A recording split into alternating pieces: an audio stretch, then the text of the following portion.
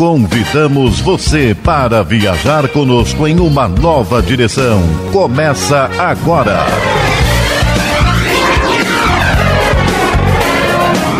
Novos rumos. Ligue e participe.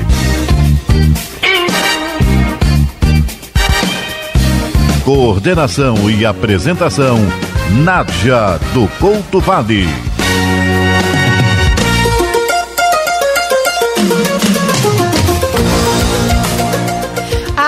Amigo, está entrando no ar mais uma edição do seu programa de informação, cultura e prestação de serviços Novos Rumos, pela Rádio Rio de Janeiro 1400 AM, a emissora da Fraternidade. O Novos Rumos, como você sabe, sempre traz um tema especial com um especialista, um convidado também especial. O convidado de hoje é nosso velho conhecido e grande amigo da Rádio Rio de Janeiro, do Novos Rumos e nosso também. É o doutor Hernani Sena Sampaio, que vem oncologista, médico, que vem hoje nos falar sobre um assunto momentoso de grande repercussão e de grande interesse para nós, não só do ponto de vista social, mas do ponto de vista individual, sobretudo na instância espiritual. É o abortamento que continua sendo um ponto de interesse, sobretudo nas várias investidas que fazem as eh, correntes que defendem o aborto. Eh, e no Congresso Nacional existem hoje várias é, incursões, tentativas de fazerem passar a lei do aborto e nós vamos conversar então hoje com o doutor Hernani Sena Sampaio, o nosso médico que está sempre de plantão aqui para nós, para nos esclarecer, e ele vai trazer hoje, sobretudo, os argumentos na faixa de sua especialidade, para nós cada vez mais firmarmos convicção a respeito da eh, postura contra o abortamento. Doutor Hernani Sena Sampaio, que já está na linha. Boa tarde, Nádia. Olá, muito obrigada por novamente estar conosco, Hernani. Ah, eu que agradeço a oportunidade que você me dá para que a gente possa levantar sempre essa bandeira da vida contra o aborto. Isto, pois é, está no juramento hipocrático, não é, o Hernani? O é. juramento de Hipócrates que fazem todos os médicos. Tá, e acima do Hipócrates está no juramento que nós fazemos ao próprio Cristo. Né? Exatamente, né? A claro. vida acima de tudo. Isso. Como espíritos, não é isso? Isso. Então, está bem. O Hernani, só para nós é, tentarmos entender a dimensão, a, a ordem de grandeza em que está, que está assumindo esse problema, porque já é um problema aqui para nós, em termos estatísticos, ah, quantos abortos ocorrem ah, no Brasil? É, hoje, para você ter uma ideia, no, no, Brasil nós temos cerca de um milhão de abortos a cada ano.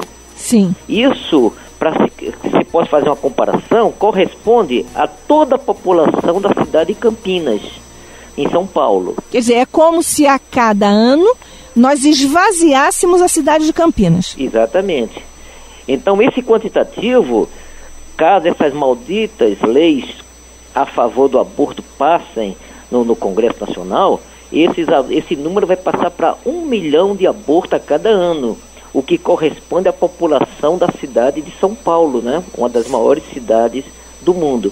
E para você ter uma ideia, de Nádia, Campinas, de Campinas. É, Campinas, hoje nós temos um milhão. Isso. E por acaso as leis que estão ah, para serem promulgadas passarem, com certeza, se houver a legalização do aborto, esse número vai aumentar 10 vezes ou mais. Vai passar para 11. Vai passar para cerca de 11 milhões de, de, de, abortos provocados né, no Brasil, o que corresponde à cidade ou à capital de São Paulo. É como se a cada ano nós esvaziássemos completamente a cidade de São Paulo que é a mais populosa da América Latina. Isso mesmo, é. Não é? E, é. Agora, e além disso, além dessas mortes, o, o Hernani, nós vamos destacar, talvez essas mortes já estejam também incluídas nessas estatísticas, nós vamos realçar o fato de que as mulheres que provocam o aborto também morrem, não é isso? É. Há um, um, um índice de de letalidade muito alto. Muito alta. Para se entender, só no SUS, onde a maioria da população mais carente é atendida, nós temos no, no, a cada ano 230 mil internações em decorrência de complicações, né? É, complicações, de complicações é, em decorrência de tentativas né, de aborto ou de abortamentos provocados de uma forma, de uma forma irregular. Sim. Entendeu? Isso corresponde a um gasto de 34 milhões de reais por ano. Porque o aborto, poucas pessoas sabem, né? Ele pode ser feito de duas, de três formas.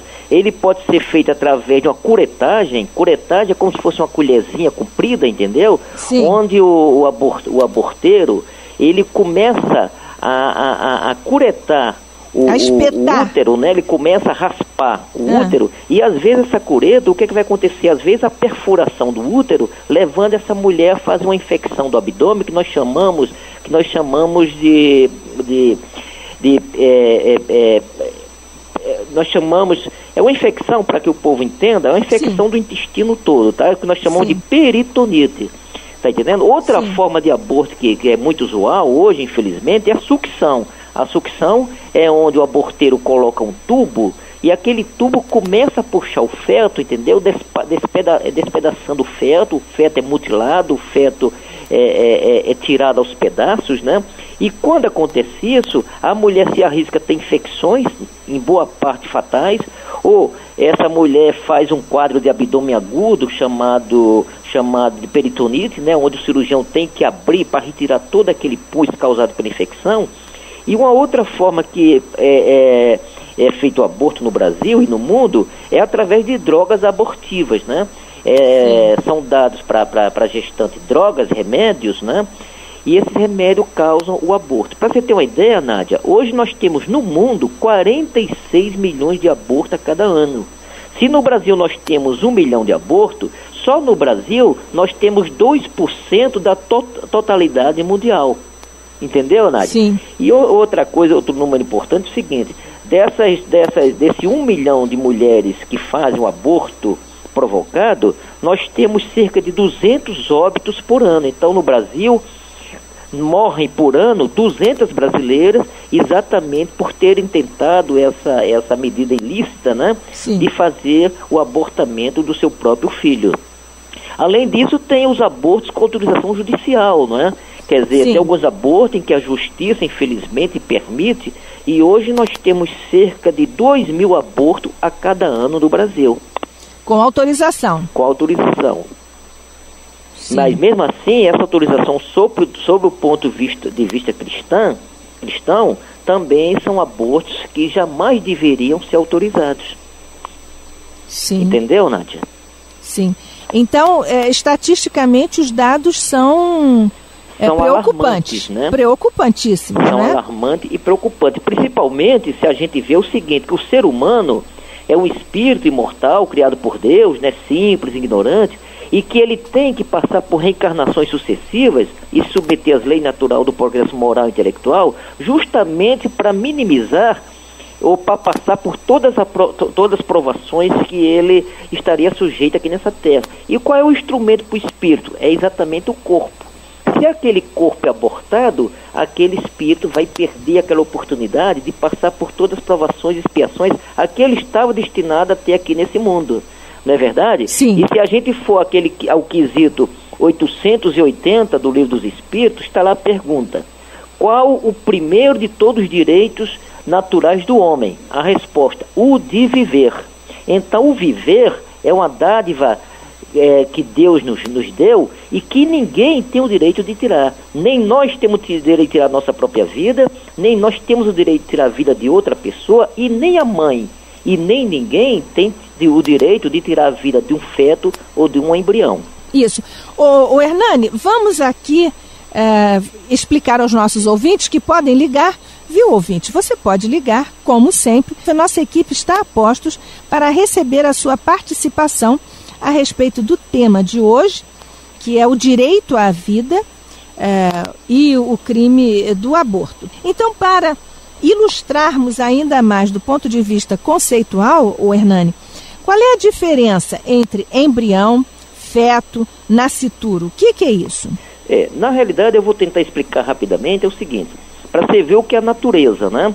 A natureza e a força da arquitetura de, de Deus, né? Sim. Então, o que acontece é o seguinte, a mulher, ela por volta do 14º dia do seu ciclo ovulatório menstrual, o que acontece? Os hormônios que são produzidos pelos ovários fazem com que a camada mais superficial do endométrio se prepare para receber o ovo, tá? Sim. O ovo, que é justamente aquele ovo que é a, uni, a união do, do, do, do, do espermatozoide, né, do homem com o, o óvulo da mulher. Então, o que acontece? Essa superfície endometrial, por uma questão hormonal, ela se prepara como a terra arada se prepara para receber uma semente. Ou Sim. seja, a, o, o endométrio uterino ele adquire uma consistência esponjosa exatamente para facilitar a chegada do ovo. Entendeu? Desse ovo que nós chamamos ovo, o, o, o, ovo é fecundado, né? Ou nós chamamos de zigoto, ou nós chamamos de célula ovo. Então o que acontece? A célula ovo é o quê? A célula ovo, ela é o produto da, da, da, junção, da, junção. da união do espermatozoide com o óvulo da mulher, que acontece justamente na, no terço distal da trompa. Então o que acontece? No momento que o ovo feminino é, é, é, é fecundado, ele passa a receber o nome de zigoto. Por que zigoto célula ovo? Porque ali está a junção dos dois, dos dois gametas, o feminino e o masculino. Então Sim. é nesse momento que começa a vida. Quando esse ovo, em poucos dias, ele começa a sofrer um processo de divisão celular. Ele passa de uma para duas, de duas para quatro, de quatro para oito, de oito para dezesseis. Que quando é a maravilha atinge, da vida. Quando ele atinge esse 16, essas 16 células juntas, Nádia, a, a, a, a, esse, a isso nós damos o nome de mórula. Por que o nome de mórula? Porque essa, esse juntamento, esse, essa duplicação de células oriunda do homem e da mulher tem um aspecto do, da fruta amora. Daí Sim. o nome de mórula. Essa célula. Mórala, é, é isso? Mórula. Mórula. Mórula. Então, é com R-O ou com R-U? Isso. Ela se é, parece a, muito... Hernani, ah. é com M-O-R-O ou R-U? M-O-R-U-L-A. Isso, ouvinte, M-O-R-U-L-A. É. Aos 16 dias, não é isso? Ah, ah, Aos, quando são 16 células... Isso, dá-se esse nome de mórula. Mórula, certo. É esse tipo de célula, que é uma célula maravilhosa, uma célula muito bonita, entendeu? A, a esse tipo de célula é que nós damos o nome de células troncos que é Sim. é tão falado hoje em dia, células troncos embrionárias. Essas células, elas são formadas, Nádia, por um tipo de, de, de célula que nós chamamos, são células troncos germinativas ou células troncos embrionárias, que ela tem um poder enorme de se transformar em qualquer tipo de célula, entendeu? Sim. Em qualquer São tipo coringas, de não é isso, Hernani? Hã? São coringas. Exatamente. Então, isso é o seguinte, a partir daquele momento, cada célulazinha daquela vai se transformar em um dos 216 tecidos que formam o ser humano. Então, uma vai começar a se transformar em osso, a outra em pele, a outra num órgão digestivo, a outra no sistema nervoso central, uma outra vai formar o, o, o, os membros, né, os inferiores e os superiores, a outra vai formar os órgãos genitais e assim por diante. Então, o que acontece? Nesse momento, essa mórula, ela começa a se dirigir para o útero da mulher. Chegando no útero, ela vai encontrar aquele endométrio já preparado para receber. recepcioná-la. Entendeu? Então, quando essa, essa, essa célula chega lá no útero da mulher. É, o Hernani, ah. só para nós irmos aqui junto com o nosso ouvinte acompanhando, ah. é, então já vão, 200, nesse momento, já vão 216 células. Não, não, ainda são, ainda são aquelas 16 a 32, tá? Sim. Agora, cada uma já tem uma missão de que, dentro de mais algumas semanas, cada uma delas, ou dentro de, de no, poucos dias, cada uma delas vai começar a iniciar um processo de diferenciação, tá entendendo? Sim, certo. Ou seja, a célulazinha aquela vai se transformar no olho daquele, do feto, a outra vai se transformar no, no, aparelho digestivo, a outra vai formar o tecido, o tecido ósseo, a outra o, o tecido E aí são 216. E assim por diante. Então, para você ver como o processo é um processo bonito, Marcos, À medida que essa, essa mórula vai se aproximando do útero, ela vai, essa mórula vai se plantar, já com o nome de blastócito, na, no, no endométrio da mulher. E no momento que ela se planta no endométrio da mulher, o que acontece? Ela começa a iniciar um processo que nós chamamos de nós chamamos de nidação ou de implantação. É como se fosse uma semente que você estivesse colocando Sim. numa areia, entendeu? Numa terra. Sim. E a partir daquele momento é iniciado o, o, processo que nós vamos chamar depois de placentação, ou seja, começa a formar a placenta e a partir daquele momento começa a se transformar no feto. Então, em suma, nós temos três fases. As três fases. A primeira é a pré-embrionária, que é a partir da concepção, né? Quando Sim. se juntam as duas células masculina e feminina. Depois, nós temos o embrião propriamente dito, que é na hora que há a implantação no, no endométrio da mulher.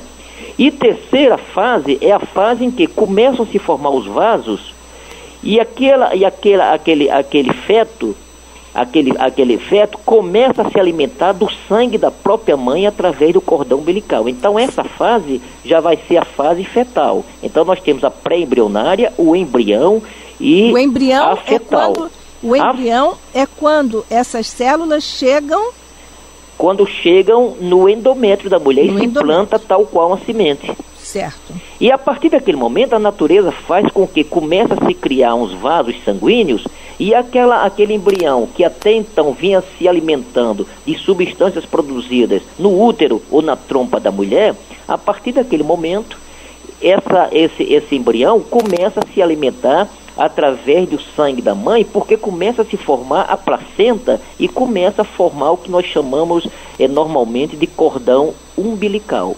Ah, então sim. é nessa hora então que há a junção do, do, do, do, do embrião dentro do endométrio e a mãe, a partir daquele momento, vai emprestar aquele útero para que aquela, aquele, aquele feto comece a, comece a evoluir. O termo nascituro é um termo mais, é um termo mais, é um termo mais médico que nós usamos e significa mais ou menos isso. É um ser que ainda vai nascer. Sim. Quer dizer, é um ser que está concebido, mas que ainda vai nascer, ou seja, ainda vai ver a luz do mundo. Entendeu? O Hernani, o Hernani na fase pré-embrionária, vocês usam nascituro? É, é, hã? Vocês usam a palavra nascituro para referir-se a, a este ser na fase pré-embrionária? É, entendeu? Nós, embora esteja essas três divisões, mas nós sempre encaramos o seguinte, que a partir do momento em que há, em que há a primeira divisão celular, ou seja, na, no momento que forma aquela célula ovo, nós já interpretamos que ali já há uma vida. Sim. E que ali é a nossa primeira morada, né? Tanto que, sob o ponto de vista embriológico, nós interpretamos que a vida começa ali no momento da concepção, ou seja, no momento em que nós temos é, genes do homem e da mulher dando origem ao novo ser, a gente diz que ali é uma vida onde tem o componente masculino e tem o componente feminino. É por isso que na questão 344 do livro do Espírito há uma pergunta: em que momento a alma se une ao corpo?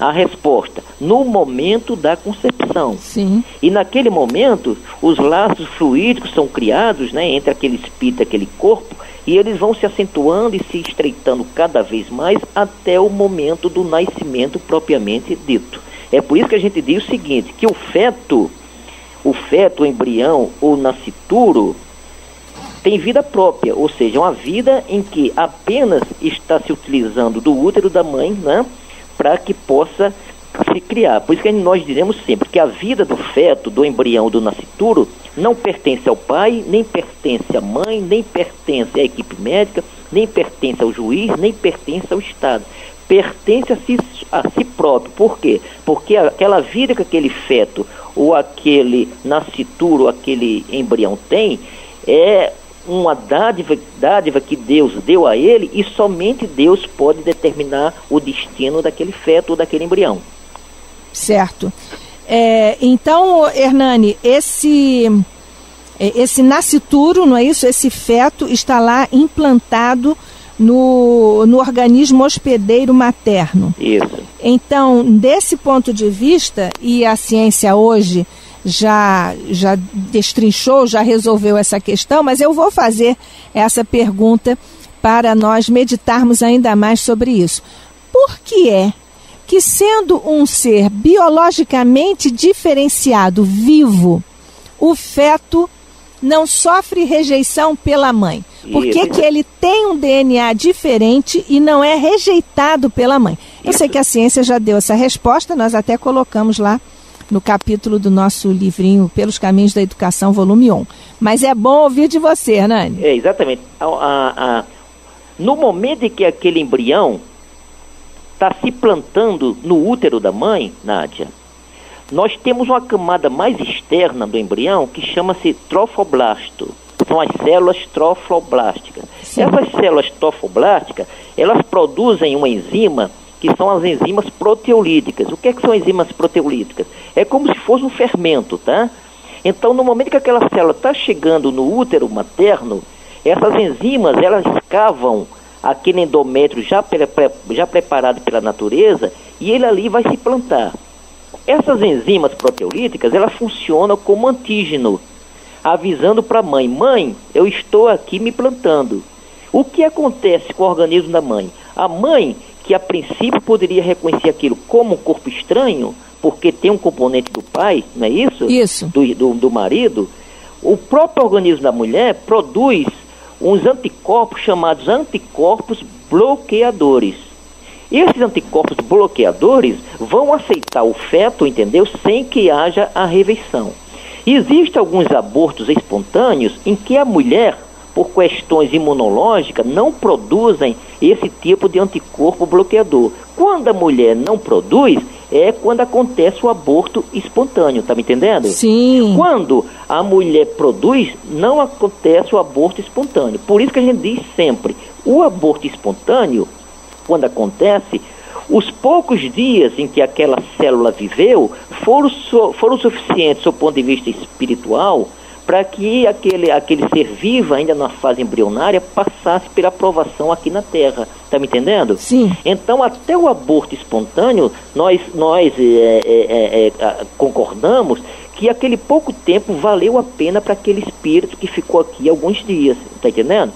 Agora, quando a mulher ela produz esse anticorpo, significa que aquele, aquele espírito vai ter mais algum tempo aqui na vida, vai se utilizar do corpo, do seu do corpo que ele vai habitar, né? Sim. E vai passar por todas as provas, expiações e vai conseguir fazer todos os resgates espirituais que ele deveria é é, é, é, é, ele deveria ou deverá passar aqui enquanto estiver aqui no mundo terreno.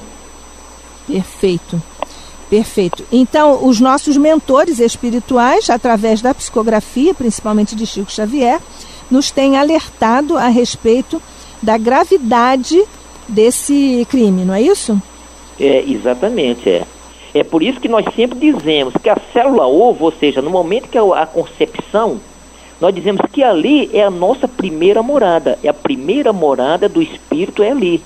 Portanto, pra, só para você ter uma ideia, né, com, com três semanas, o embrião ele já tem cerca de 4 milímetros de, de, de, de estatura, tá? Sim. E ele tem nessa ocasião mais ou menos, e nessa ocasião, para você ter uma ideia, já é possível se identificar o coraçãozinho daquele embrião, daquele feto.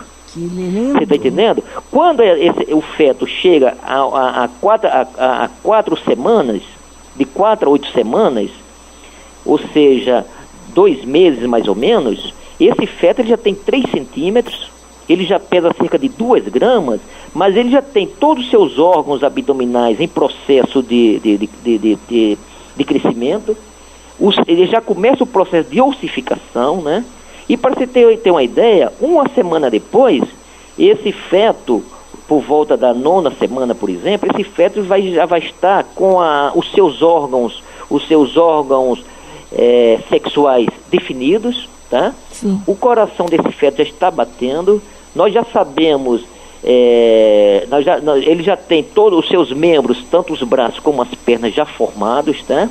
Já tem todo o sistema nervoso central identificado E por isso que, infelizmente, alguns aborteiros, né, ou algumas pessoas que não têm o, o conhecimento de embriologia, né, os conhecimentos cristãos, dizem que até a 12 semana esse feto não sente dor, esse feto não pensa, esse feto não tem consciência, o que é um tremendo erro, né? Sim. O nosso ministro da Saúde, infelizmente, um tempo atrás, ele fez uma declaração que o feto até a 12 semana poderia ser abortado para que suas para que suas para que as suas os seus os seus componentes é, em termos de, células troncos germinativas Sim. ou primárias pudesse ser utilizado em processos é, ou pesquisa científica. Na realidade, não é nada disso. A vida começa no momento da concepção. Sim. Mas esse nosso ministro que fez essa declaração infeliz, graças a Deus a sua própria mãe o corrigiu e ele voltou atrás mostrando que havia errado quando fez a comparação muito desumana em relação aos fetos. Perfeito. E é bom agora cada um de nós olhar para si mesmo. Olhe para o seu corpo. É, exatamente. Olhe para seus braços, suas pernas, todo o seu corpo.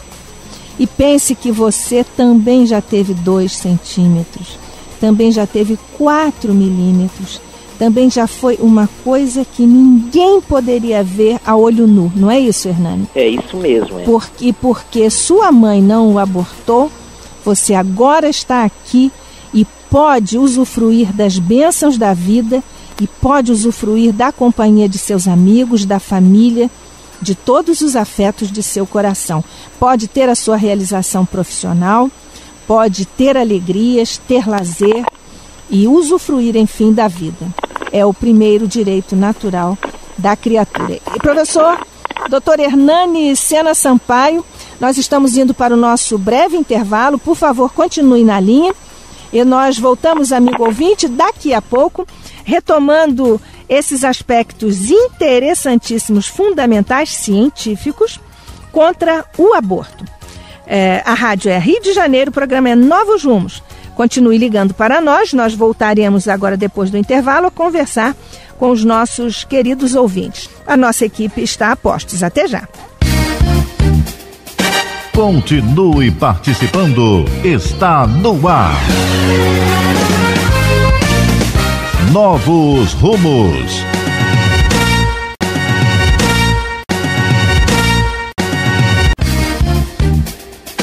Voltamos a apresentar.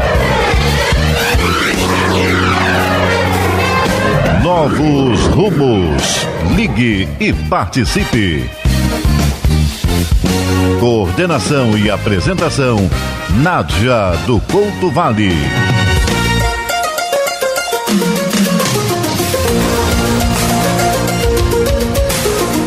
Amigo ouvinte, estamos de volta no programa Novos Rumos, é sua edição eh, de hoje tratando da questão do aborto que está sendo retomada reincidentemente, sobretudo no Congresso, é, pelas pessoas que estão interessadas em fazê-lo passar como lei. Nós vamos aproveitar a oportunidade e lembrar com o nosso querido convidado, Dr. Hernani Sampaio, o nosso médico oncologista, que está tratando hoje do assunto sob ponto de vista científico, médico, que, é, junto com ele, que também é espírita, nós vamos lembrar que Chico Xavier, não é isso, Hernani? Chico Xavier disse que quando no Brasil nós fizermos passar as leis do aborto, da pena de morte, da eutanásia, portanto, os crimes contra a vida, a natureza, que faz parte deste cenário de vida, vai se insurgir com a potência, a grandiosidade que nós sabemos ela tem aqui contra isso. É, doutor Hernani, Alô, doutor Estou Hernani. Apostos. Ótimo, você está a postos. Hernani, vamos conversar um pouco com os nossos ouvintes antes de falarmos sobre os anencéfalos. Ah. Ouvinte, você sabe o que é anencéfalo? Nós já vamos conversar sobre isso agora, eh, depois de conversarmos com os nossos ouvintes, com o doutor Hernani Sampaio. Vamos falar ainda do risco de vida para a mãe no caso de ser necessário este processo de abortamento. Mas isso é depois de nós mandarmos um abraço para o Suélito de Niterói. Como vai você? Um abraço, Suéliton. Parabenizo o programa, diz ele, e também o tema. Estamos sendo bem orientados. Abraços a todos. Nós agradecemos e retribuímos. Não é isso, Hernani? Tá, isso mesmo. É, Luiz da Ilha. O, o Luiz começa com um, um exemplo. Quando nós vamos pisar uma barata, notamos que ela corre. Imagine como um feto fica quando pressente que vai ser abortado pela sua mãe. Não é isso, Hernani? É. é, é o, quem tem a melhor definição a respeito do aborto é o Emmanuel. O Emmanuel, o mentor do Chico Xavier. Sim. Ele diz: crime estarrecedor, porque a vítima não tem voz para suplicar piedade e nem braços robustos com que se confia os momentos de uma possível reação. Então, na realidade, é o crime mais cruel que existe, porque o feto, na hora, ele já sendo o espírito formado, ele consegue perceber, perceber o que vai acontecer. Tanto que existe tantas psicografias né, de fetos, de fetos que foram abortados, né? Que, que, e eu vou só citar um rapidamente. Há um que mandou uma carta para a mãe dizendo o seguinte: Mãe, o que é que essa, essa, o que é que esse tubinho está fazendo aqui na minha casinha, mãe? Uhum. De repente aquele tubinho, na realidade, a casinha que ele fala era o útero, onde ele Isto. estava brigando. Aquele tubinho, um aparelho, um aparelho de sucção que estava ali para fazer o abortamento. E ele pergunta, né? Mãe, por que, que você está deitada essa hora do dia se hoje se você não, está, não vai dormir? Por que, que você está nessa posição? Mãe, esse tubinho acabou de arrancar um, a, acabou de arrancar minha perna. Agora começou a arrancar minha cabeça, agora começou a arrancar meus órgãos, agora começou a arrancar o meu bracinho. E no final, então, esse feto nessa carta psicografada diz para a mãe: Mãe, faz, fazem 17 anos que você fez esse aborto. Mas daqui de cima, mãe, eu te perdoo. E daqui de cima eu sei quanto você se angustiou nesses últimos 17 anos. Isso por quê? Porque o aborto, além das complicações físicas para a mãe, ou seja, a mãe se arrisca contra infecções, a mãe se arrisca a, a, a, morrer por um processo infeccioso, né? a mãe se arrisca a fazer um abdômen agudo por perfuração do útero, essa mãe se arrisca a não ter mais filhos porque uma, o aborto faz com que a sua capacidade de fertilização diminua bastante, né? Mas o maior dos, de todos os males é o remorso que essa mãe vai carregar para o resto da vida. Isso. Por quê? Porque durante todo o seu restante de vida, ela vai passar por esse processo de, de, de, remorso por ter assassinado o seu próprio filho. Próprio filho. Isso. Mas mesmo assim a gente diz, as mães que se arrependerem, né? As mães que começarem a se auto-perdoar por um ato dele, desse, e começar a partir desse momento, exercer alguma atividade no sentido de evitar que novos abortos aconteçam, ela já vai então minimizar os seus sofrimentos. Isso. Para você ter uma ideia, tem um médico americano que é considerado o maior aborteiro dos Estados Unidos. Dos que Estados fez Unidos, aquele vídeo, o grito do silêncio. Um livro, grito à vida, né? Isso. E esse médico, depois de tantos e tantos abortos, ele se conscientizou que estava no caminho errado e passou para o outro lado. Então hoje é um dos maiores ativistas, né? Contra o aborto, né? exerce um grande trabalho no sentido de evitar abortos, né? Como também já publicou um livro, já fez um filme, né? Então ele agora está resgatando aqui em vida o, todas as maldades que ele fez durante muitos e muitos anos, não é verdade? Isso, é Como é trocar o também, sinal né? da, dos atos, não é isso, Hernani? Hã?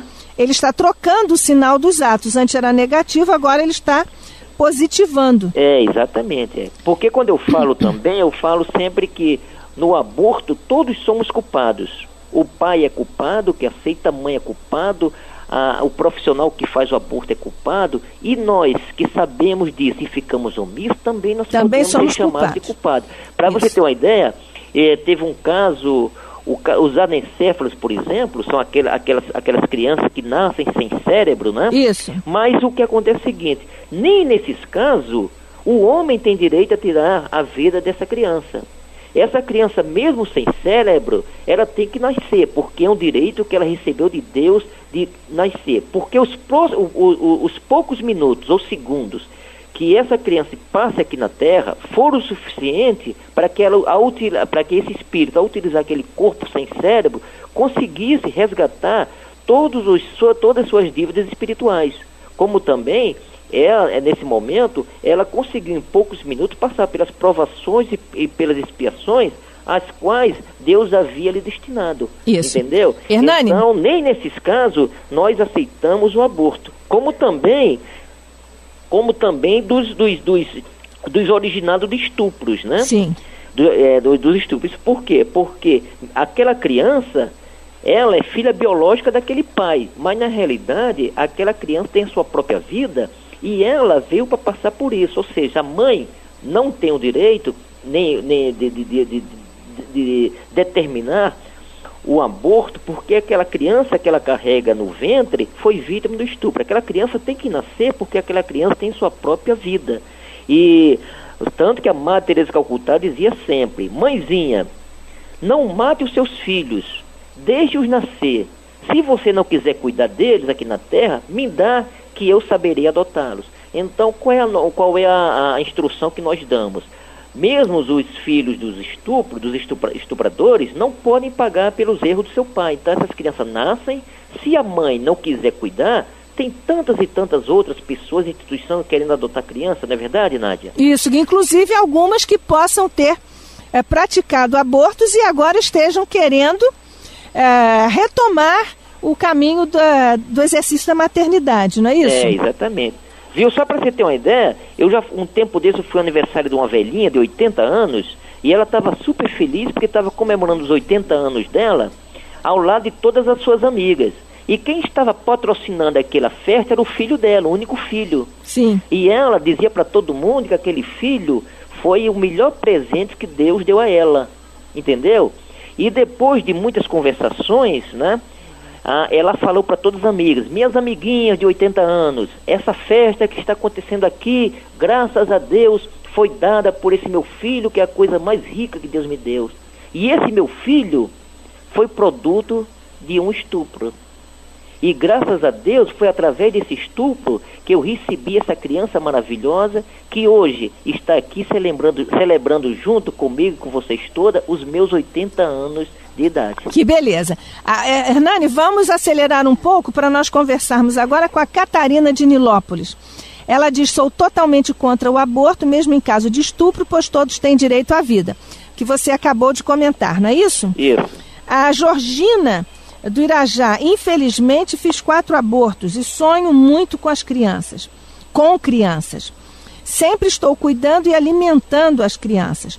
Será que estas crianças com as quais sonho podem ser as que abortei? Um abraço para você, Georgina. É, podem sim, né, Nádia? Podem sim. De é. repente, essas crianças, é, é, essa senhora deve estar passando por os, os chamados processos anímicos, né? Isso onde de repente o seu espírito vai de encontro àquelas crianças onde elas estiverem, né? Ou de repente são até mensagens que essas crianças mostram para ela. Mas só o fato dela ter se arrependido, né? E ter, e ter assumido o erro e ter, graças ao seu livre-arbítrio, né, ter passado para o lado, o lado bom, né, ou seja, o lado das pessoas que são contra o aborto, ela já está começando a minimizar todas as possíveis, todos os possíveis atos, atos nocivos que ela tenha feito no passado. Isso, Georgina, faça o seguinte: você está é, cuidando de crianças, alimentando crianças em sonho. Faça isso aqui, em vigília. Vá até uma creche, vá a um orfanato e, e vá cuidar de crianças lá. E seja muito feliz. É sempre muito compensador e recompensador e para você reconfortante você fazer isso com seu coração aberto, abençoado por Deus e por Jesus, porque você está celebrando a vida.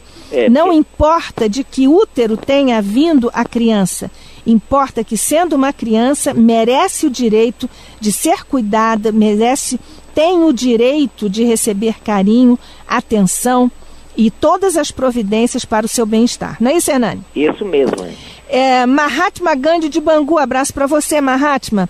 Doutor Hernani, diz o Mahatma Gandhi, o senhor é a favor do uso da célula-tronco para pesquisas científicas?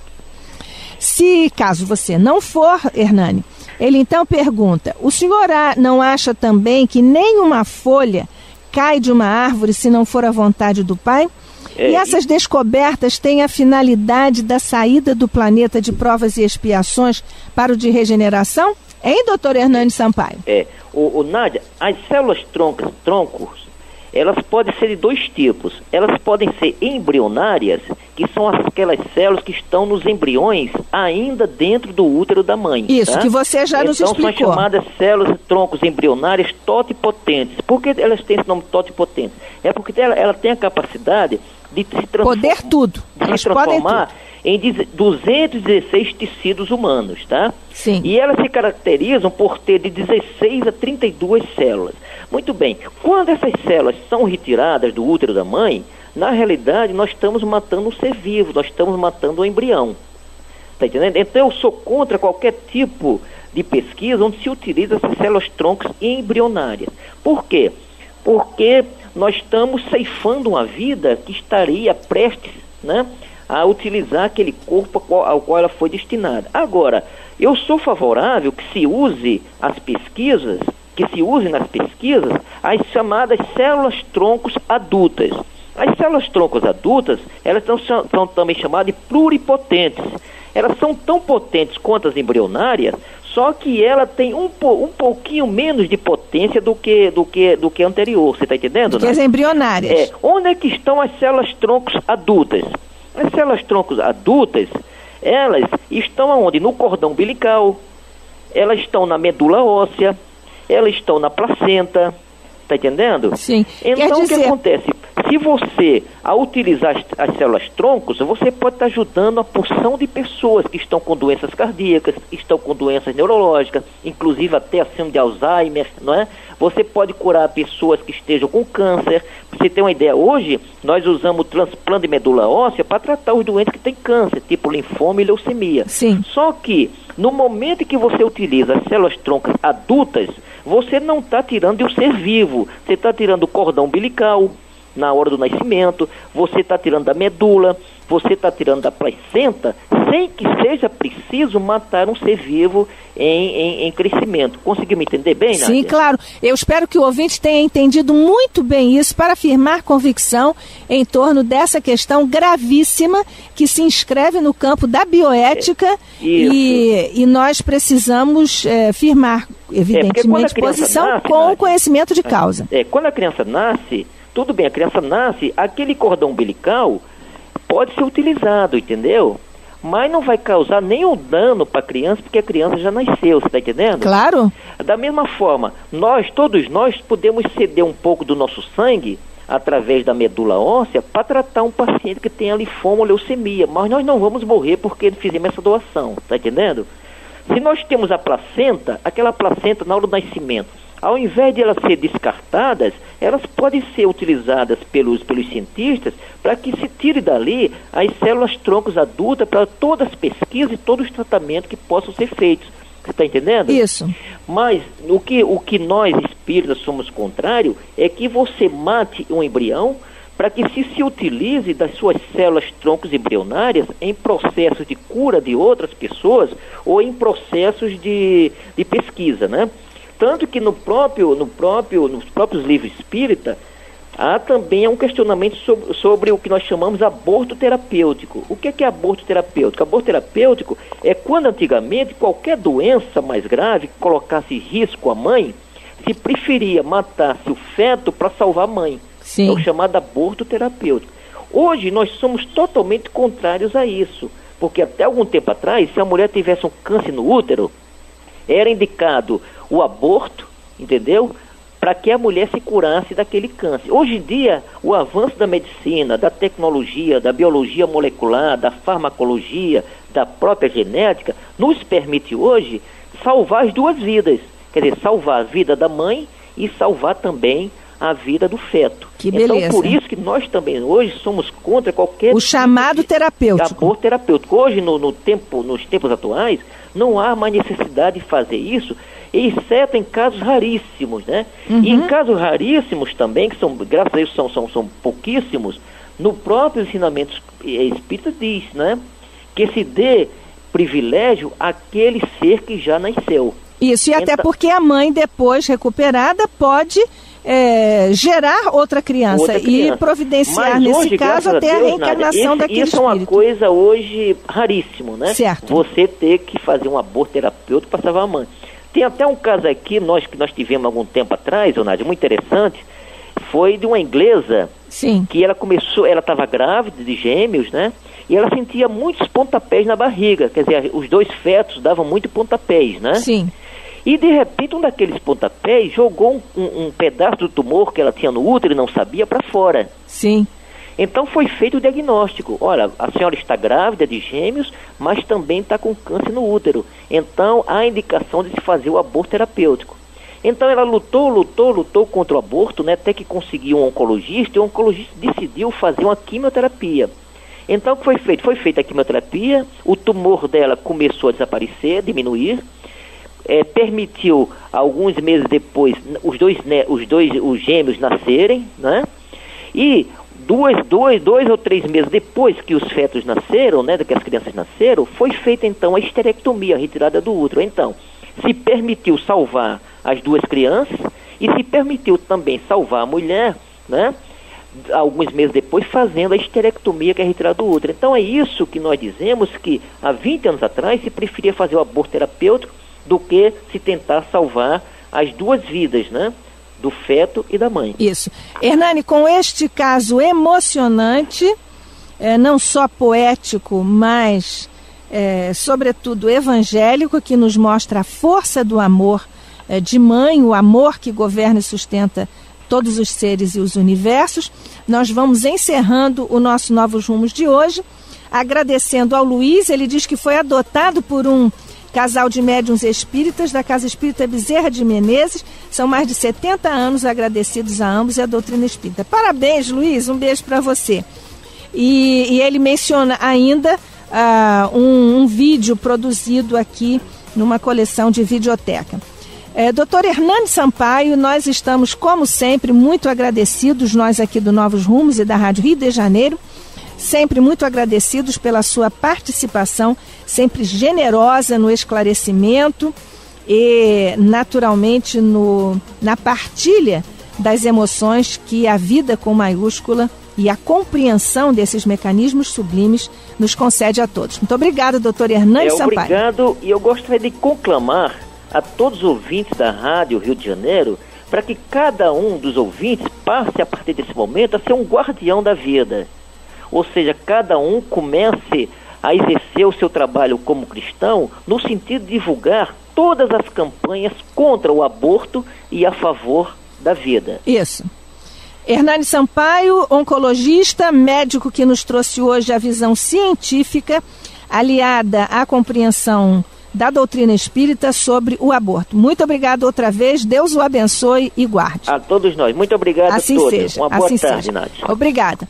Amigo ouvinte, nós estamos encerrando mais uma edição de gala do nosso programa Novos Rumos, seu programa de informação, cultura e prestação de serviços. Nossa equipe que esteve a postos agradece comigo aqui a sua participação e a construção desta nossa edição do Novos Rumos.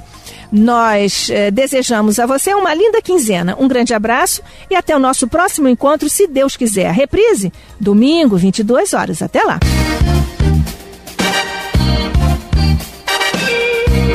A Rádio Rio de Janeiro apresentou. Novos Rumos.